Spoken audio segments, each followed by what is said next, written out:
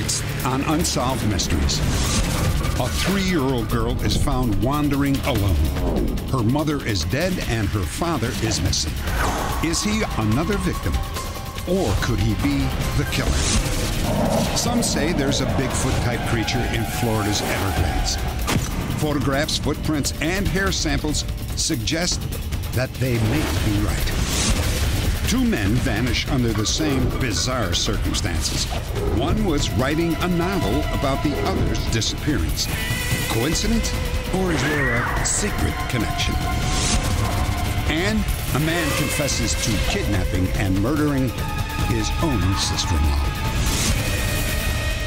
These are stories with intriguing secrets and surprising revelations. So stick around. I'm Dennis Farina, and for the next hour, this is Unsolved Mysteries.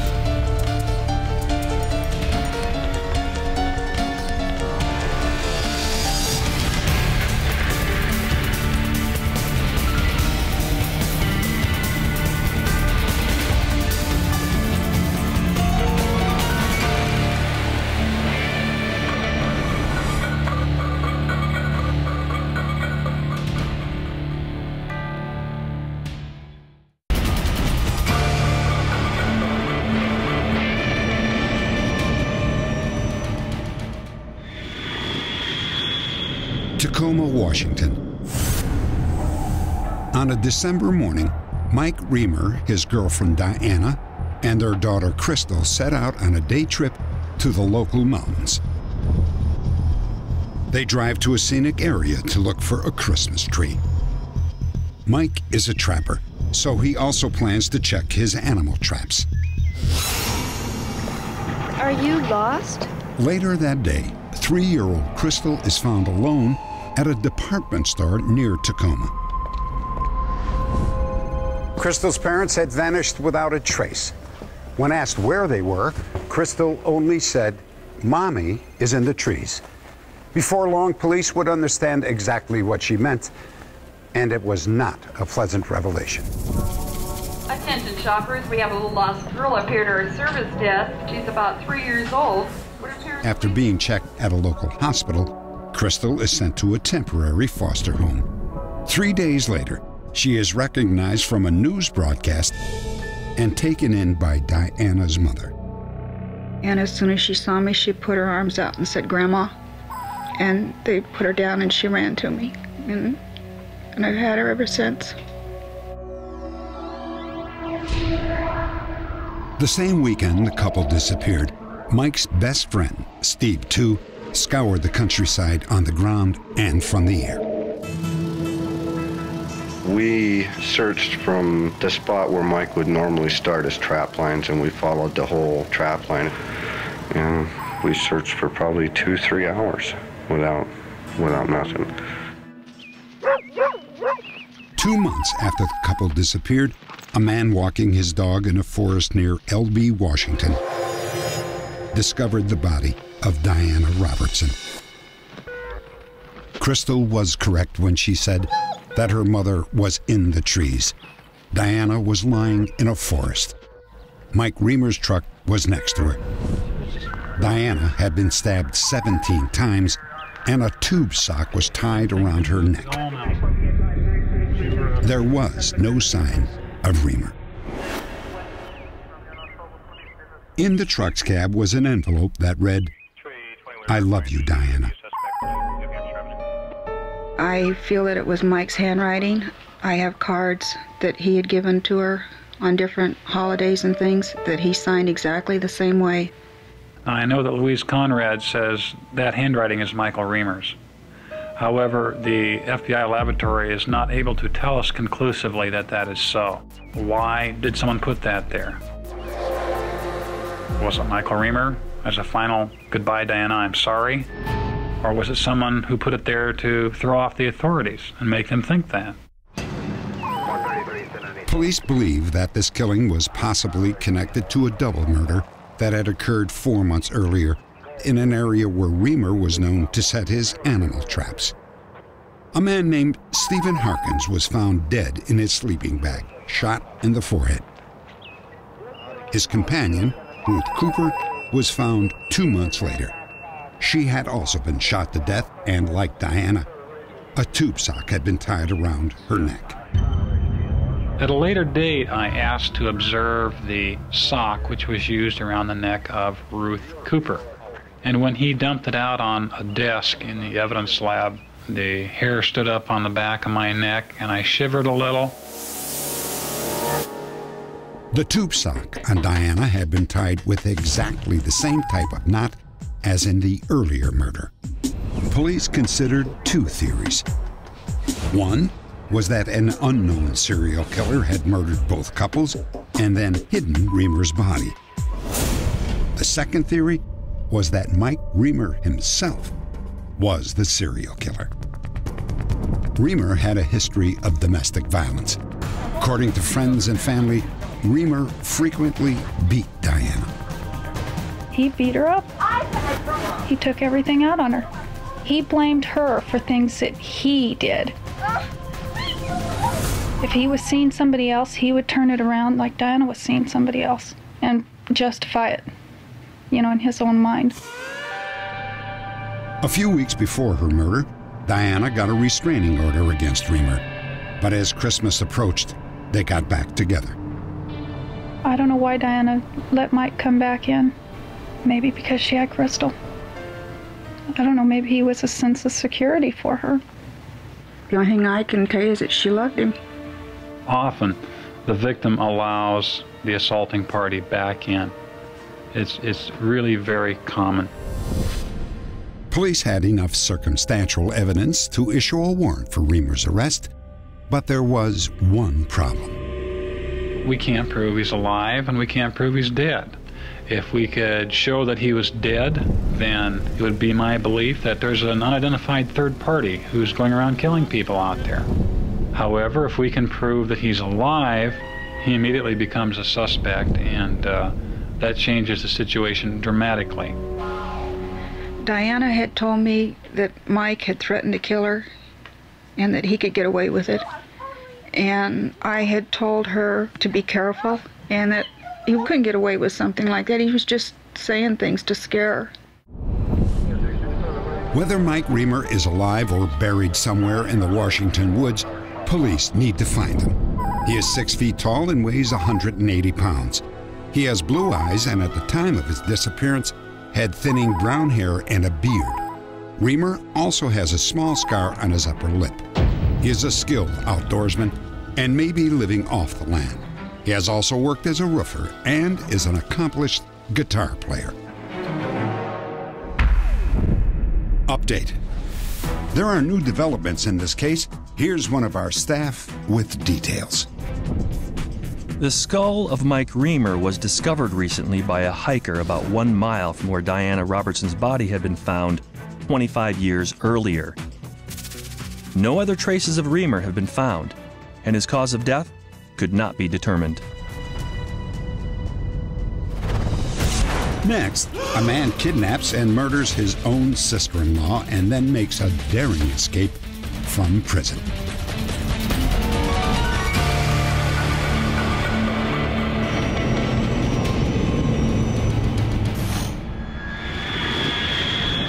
Everett, Massachusetts. I know who you are!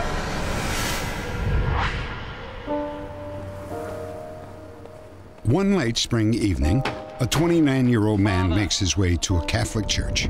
There's something I need to tell you. Can I come inside? The man's name is Timothy Berry, and he's about to make a stunning confession. I'm the one that kidnapped Nancy. Tim admits to kidnapping his sister in law. And at that very moment, he becomes a murder suspect. 23 year old Nancy Brown had vanished 16 months earlier from the house that she shared with her mother and her sister. Tim Berry was married to Nancy's sister, who we'll call Sarah, the oldest of four daughters. When their father died, Tim had become the unofficial head of the family. Tim's upbringing was very similar to my own. His parents brought him up very Christian. He believed in the same things I did, very family oriented. For seven years, they were a happy family. And then came the day that Nancy disappeared. It was her regular day off, and she got an early start doing laundry. The only other person in the house was one of her other sisters, 16 year old Moira, who was homesick from school. Early that morning, Moira heard Nancy slam the door to the back porch and turn on the radio in the kitchen. And that was the last anyone saw or heard of Nancy Brown. A little while after supper, my mother called wondering if I had seen my sister. And I hadn't, and I hadn't spoken to her. And they told me that um, nobody had seen her all day. Mary, have you uh, seen Nancy today? Tim and Sarah, with Sarah's sister Allison, rushed over to the house and started calling Nancy's friends. She hasn't seen her today. Oh my God. In retrospect, Tim's behavior seemed suspicious. Tim was there with everybody, very concerned, wondering what happened, but he seemed to be more nervous than what the rest of us were. Look at our address book and see if this The group split up to search the house. In the basement, they found Nancy's glasses.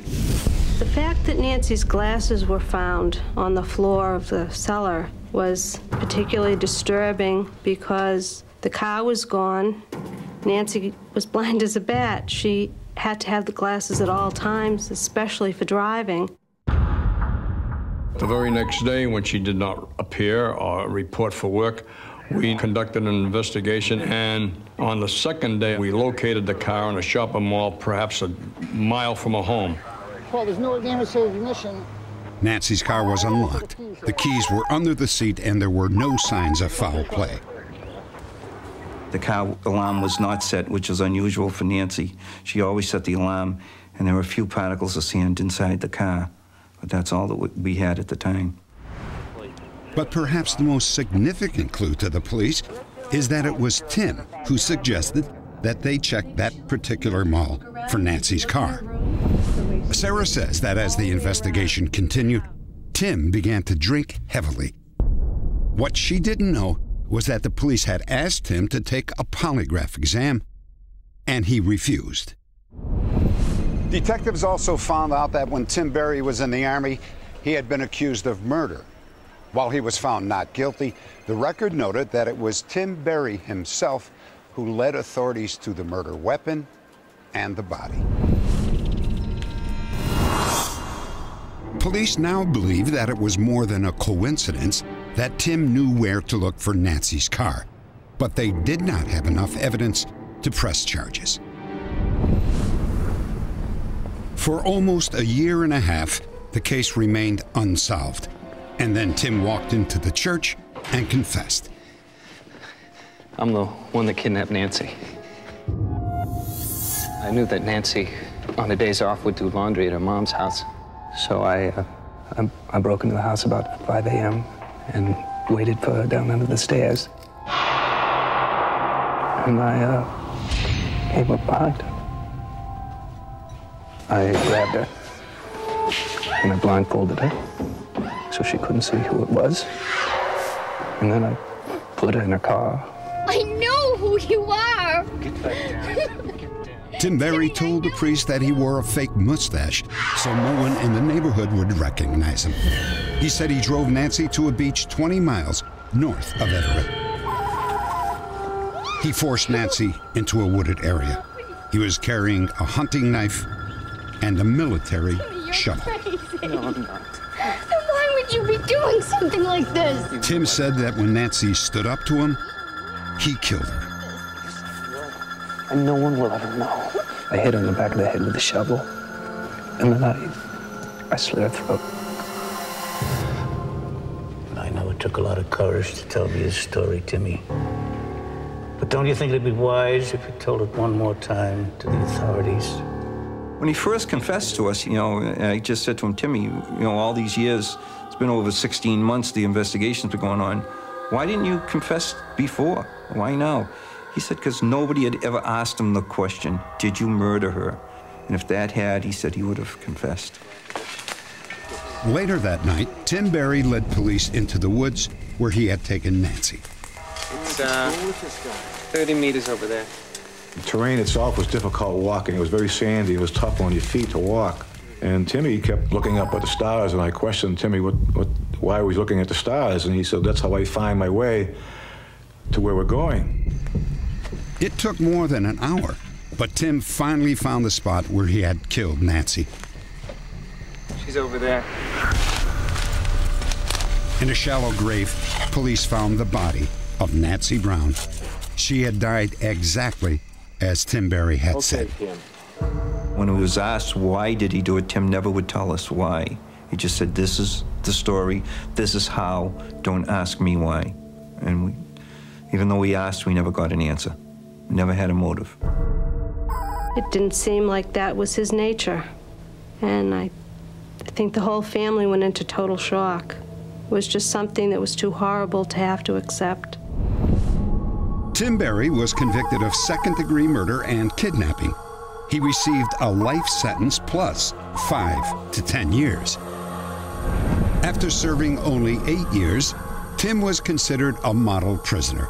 He was frequently assigned to work details outside the prison. I'm sick of the color gray. It was election day, and Tim was part of a prison crew repainting government offices in downtown Boston. That particular day, the building was very busy. There were voting polls on the first floor of the state office building here. People coming and going all day long. Elevator traffic. Remember where it is, right? Yeah. Okay, hold on. It's our understanding that he requested that he go to the men's room at approximately 9:30 that morning. About 15 minutes later, the officer realized that Tim Berry had not returned to his work area upon a check. And we soon realized that the subject had left, taking an elevator down to the first floor and mingled into the floor traffic of the people voting and the pollsters and blended into the crowd and just took off and fled the area. We initiated a ground search, and that search revealed absolutely nothing, as if Timothy Berry just disappeared into the sun, gone. About a year and a half later, Tim Berry walked out of the woods in Vermont. His two teenage children were visiting Tim's sister for Memorial Day. Dad? What? Hey, that's Dad. I had to work, so I didn't get to go to the family vacation home. Sally. I don't think anybody expected what happened. As a matter of fact, I'm certain of that. Dad, come back. Tim stayed for only 10 minutes. It was the last time anyone in the family saw or heard from Timothy Berry. I can't say that I'm frightened, but I have to admit to once in a while looking over my shoulder, wondering if maybe he isn't someplace watching. I know he would never do anything to hurt the children or put the children in a position where they could be hurt in any way. But I have to admit to wondering. Update Timothy Berry is once again behind bars. As a direct result of our broadcast, Berry was arrested in Akron, Ohio. He was working as a truck driver using the alias John Prendeville. Berry waived extradition and was returned to Massachusetts to serve out the remainder of his sentence.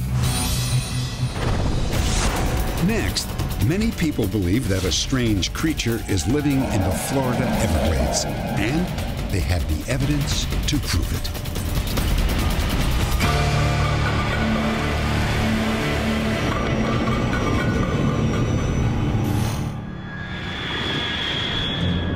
The Florida Everglades. This hot, humid swampland is home to some unusual creatures and unusual people, too. For eight months, David Shealy sat all alone in the middle of the swamp looking for a legendary creature, Florida's own version of Bigfoot called the skunk ape. David's interest in the creature began when he was just 10 years old. He and his older brother were exploring the swamps near Ochopee, 75 miles west of Miami. My brother noticed something in the distance. What is that? And he said to me, he said, What's that? What, what is that over there? Let me see. Let me see. All right, all right. And I couldn't see it because the grass was too high, so he had to pick me up where I could get a better look. And when I looked out across the prairie, I could see a huge figure, probably eight feet tall, maybe 300 pounds. It was walking on two legs like a man would walk. Oh man, that's like a giant skunk ape. Big. I knew it had to be the skunk ape. A creature that walks like a gorilla and smells like a skunk seems, well, a little unbelievable at best. But David Shealy and his brother aren't the only ones who claim that they've seen it. Folks, you sure picked a beautiful day for your trip through the Everglades. John Vickers is an Everglades tour guide who is familiar with the animals in the area. We're driving the bus down to Turner River Road, and I'm pointing out wildlife. There, if you look over to your right, you'll see a couple of the alligators taking their afternoon nap. And all of a sudden, about 200 yards in front of our bus, a creature, hairy, standing upright on its hind legs, crossed the road. One of the passengers taps me on the shoulder. What was that? Well, I'm not sure. But it's nothing to worry about. I think it's probably the old man that lives out in the Everglades. I don't think he bought that.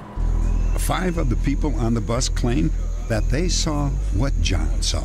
I don't know whether it was a the real skunk ape or whether it was a hoax, but it's something real. Two days later, real estate agent Jan Brock was on her way to work. I was driving probably about 7:30, 7:45 in the morning, and I noticed something getting ready to cross the road. My first thought was that it had to be a bear, and this particular time I looked and I was like, something was not right. The animal just kind of scurried off across the road, and that's when I realized it couldn't have been a bear. Wasn't sure what I saw, and uh, didn't really want people to think I was a little nuts, so I didn't say anything about it. Fire Chief Vince Doerr left for work just a little later than Jan. I seen something go across the road. It wasn't dressed in regular shirt and pants like a man. It was more brown or, you know, looked more like a bear color. But I knew it wasn't a bear because it was walking upright. So I speeded up, got up to that area. I got out. I yelled out, Hey! And it stopped and turned. And at that time, I snapped one photograph. This is the actual picture that Vince took of the creature. I saw the picture that Vince had taken, and it was the same thing I saw. Jan seen it, so that made me feel like I wasn't seeing things. When you hear people talking about what they saw and then you actually see it yourself, obviously you're going to believe that there's something out there. A year after those sightings, David Shealy was on his viewing station, just like he had been for the previous eight months. I was sitting in my tree stand and I dozed off and I heard something splashing in the water. And it sounded like a person walking towards me. When I looked up, there it was coming right at me at about 100 yards away. I took 27 photographs over a period of about three or four minutes as it crossed the marsh. I couldn't believe what I saw. I, it was uh, almost ghostly, and it wasn't until the next day when I took the camera to the developer that I realized that I had actually captured a skunk ape on film.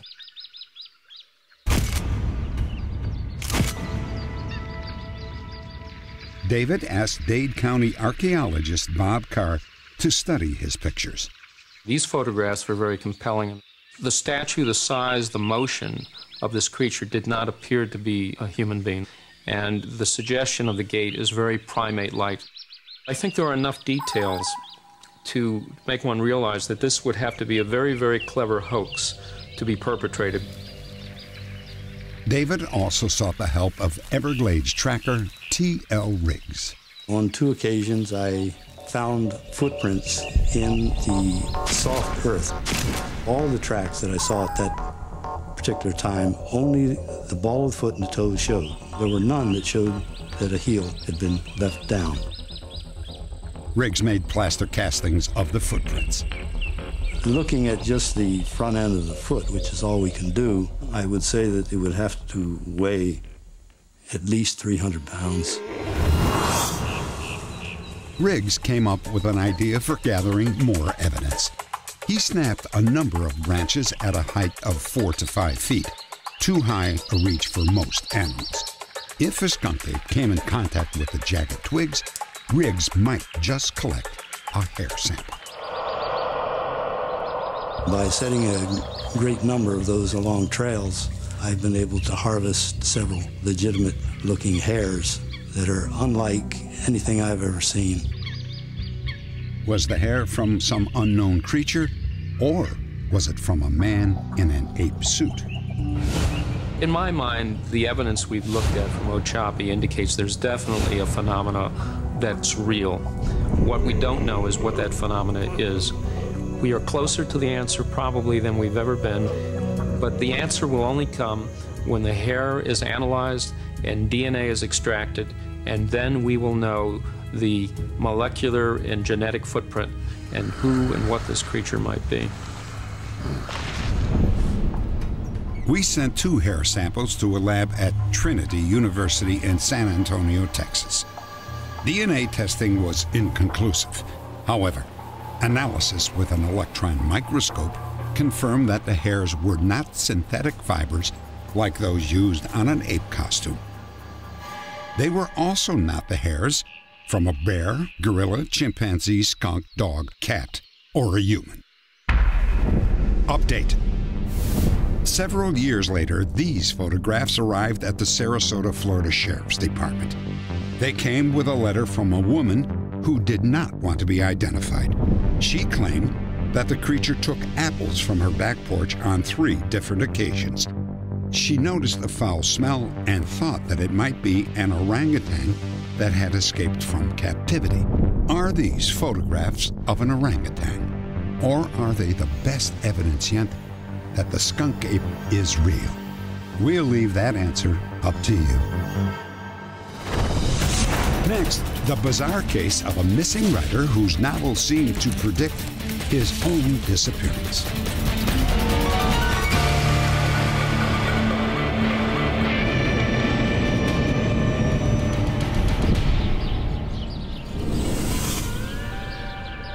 The tiny village of Silver Plume, Colorado, population 200, lies in the heart of the Rocky Mountains.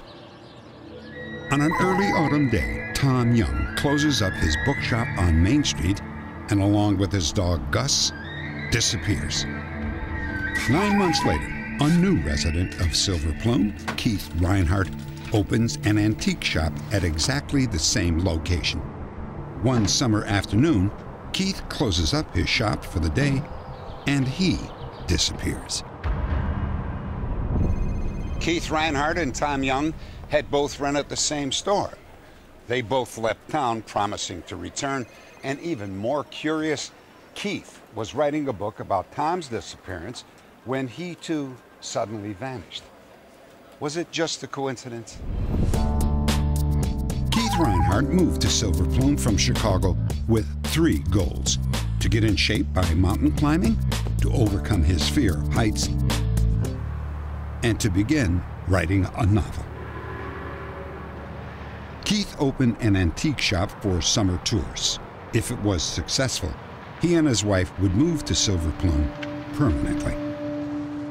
Keith Reinhardt and I grew up across the street from each other. We'd known each other about 40 years. I would say that our relationship was similar to that of, of brothers. Keith was uh, apprehensive and excited. He was here to finish out the last of his 40s in the way that he dreamed of.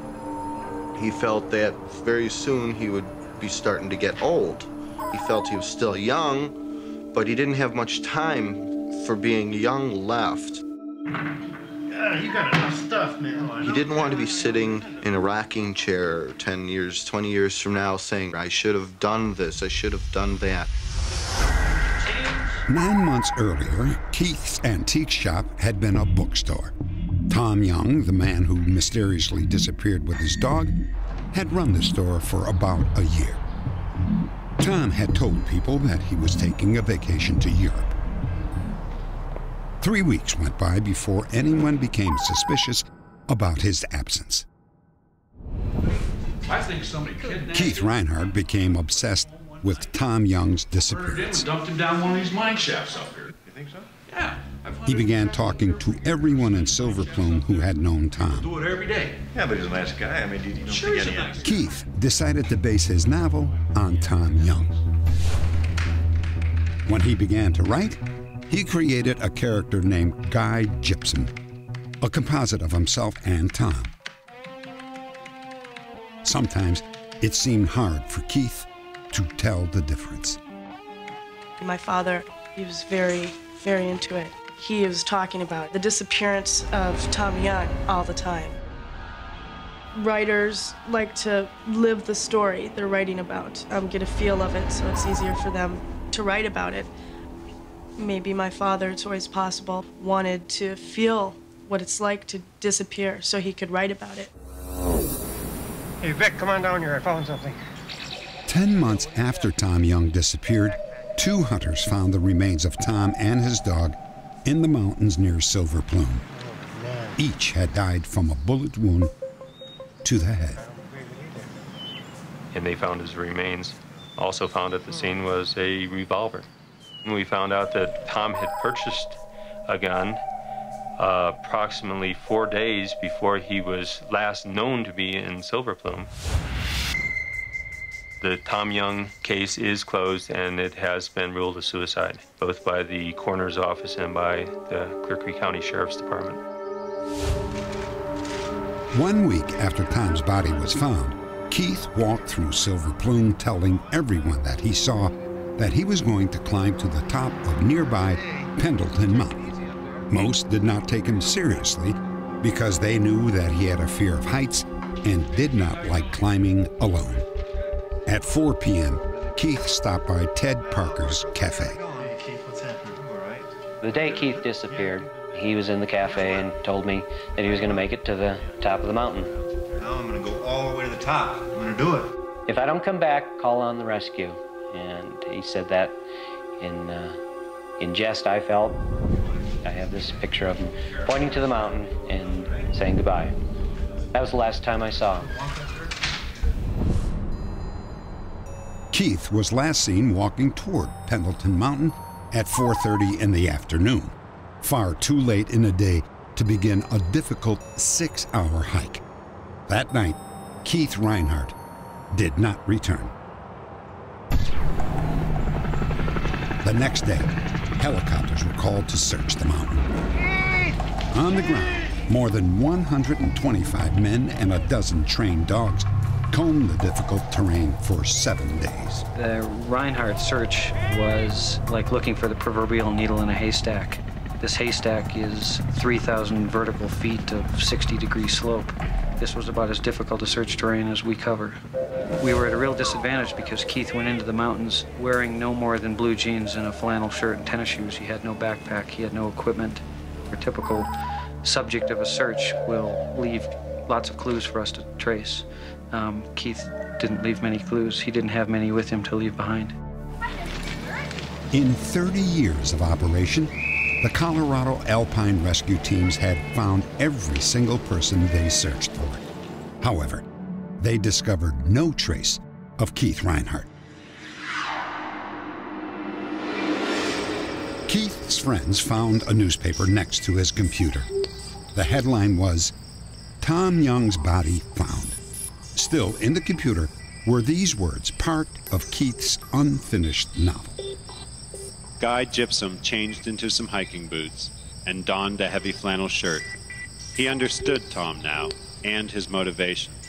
Guy closed the door, then walked off towards the lush, shadowless Colorado forest above. Could these words imply Keith Reinhardt concluded that Tom Young had killed himself?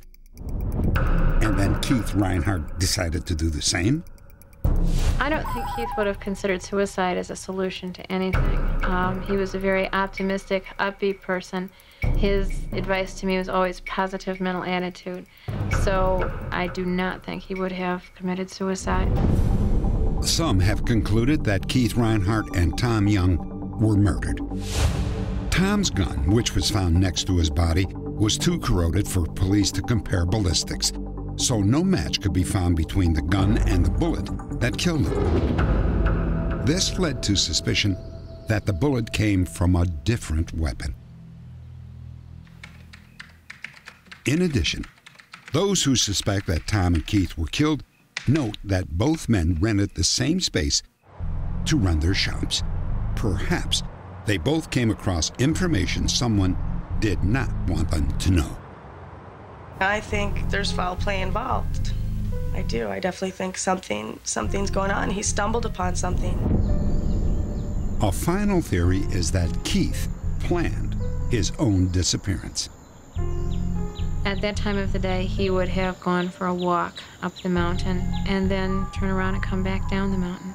What I find to be odd is that he did not take either one of his cameras with him, and he was in the habit of usually carrying a camera.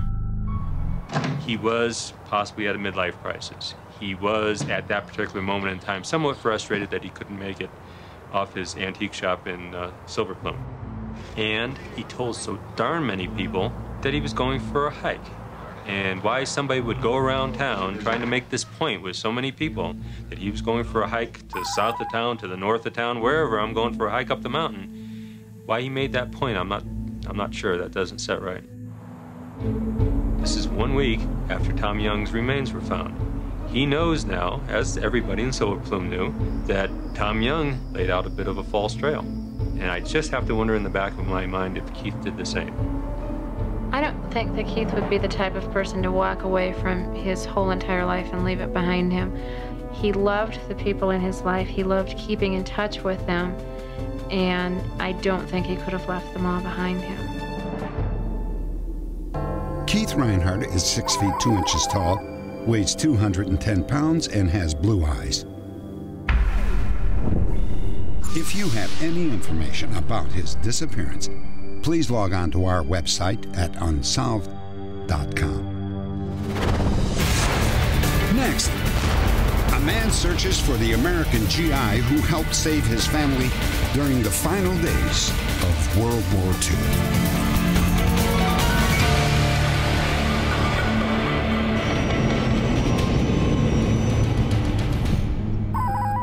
For decades, Siegfried and Marguerite Leyer of Morlenbach, Germany, have been searching for an American soldier. When Siegfried was just a boy, he formed a friendship with a young GI. March 1945, the final days of World War II. For Germany's civilians, it was a time of uncertainty and despair. One of the innocent victims was young Siegfried Leyer, whose neighborhood was destroyed by Allied bombers. Siegfried's mother fled with her three youngest children. They walked 125 miles to be with relatives in the village of Morlenbach. It was very bad.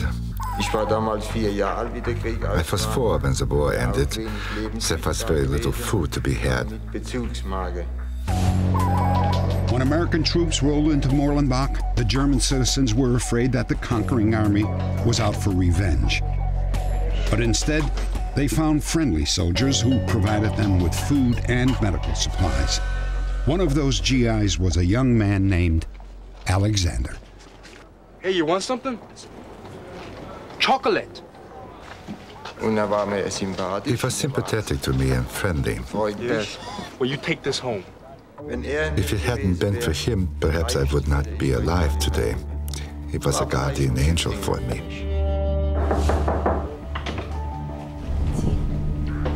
I am, um, I'm Alexander. Uh, Siegfried's guardian angel made the effort to track him down at home. Soup? Ist das super? Super, yeah. Oh, super, yeah. Alexander took a genuine interest in the family, and soon food shortages were a thing of the past. I wasn't quite sure where Siegfried lived, but I, um... He brought us food from the army. The same food eaten by them, we also ate. Oh. He used to come by every day, if only to pick me up and take me to kindergarten, or to pick me up there later. Each time he would bring a little food. Here you go. Red. Over the next three months, Alexander practically became a member of the Leyer family. What he would say to me, I don't know. I don't believe that he knew German, and I certainly didn't know any English. You don't necessarily need words for communication. You can do things with signs, and it went all right. Hey, Ziggy. You want to drive? Alexander would often invite Siegfried to tag along on routine patrols around town. Jeep! Jeep! Here, grab the wheel. There you go. Right, right, watch the road. Watch the road. When ich mit dem Auto fahren gedurft habe. When I was allowed to drive with him, that was the most wonderful thing. Ah, Ziggy, you're driving! When I was sitting in the car and the other children saw me, they were perhaps a bit jealous because I was allowed to drive and they couldn't. I was very proud. I don't know if you're going to understand what I'm trying to say to you. But I have to go. Before long, the time to say goodbye. We may not see each other for a long time. I was sad. Perhaps I would never see him again. As I think about it today, I was really sad. I have always thought about how he helped us, and that I should in turn help other people. He was not obliged to us in any way, but he did it as a human being, out of human love. Today, Siegfried has only one memento of Alexander. This photograph taken in the spring of 1945. At the time, Alexander was about 20 years old. Siegfried has never learned Alexander's last name.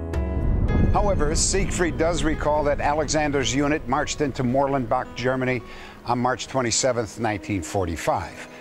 If you can help us find this generous, warm hearted soldier named Alexander, please visit our website at unsolved.com.